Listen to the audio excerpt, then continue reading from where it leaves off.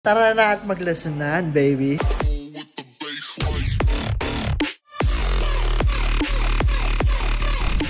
So, ano gagawin? Pag unbox at pag-assemble ng Master 4 Begod, baby. So, meron tayong user manual, certificate of compliance, meron tayong Geo na air pump, malaking charger.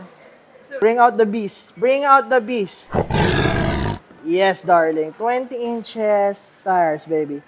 So, assemblein lang namin to Babalik ulit sa box. May order naman papuntang Bulacan, baby. So, same sa ibang units ng Bigod. Nakahiwalay yung pads na ididikit natin, no? So, meron tayong CST 20 inches tires. At yung batteries. At yung suspension. Angas, no? Okay, so natapos na yung assembly. Tuturuan ko ulit kayo paano mag-enter yung transport mode after yung assemble. So, lapit ka muna camera konti. Ito yung power button. Ito yung transport or non-transport button. Ito yung luggage.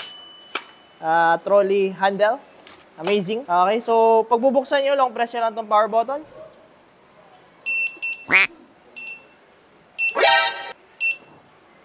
Ay, wala.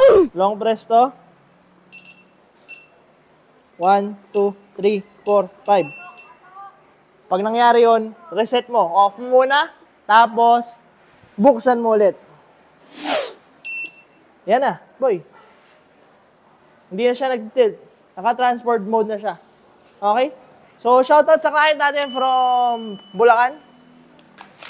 So, ibabalik namin sa box. Enjoy and ride safe. Let's go. Cut, darling.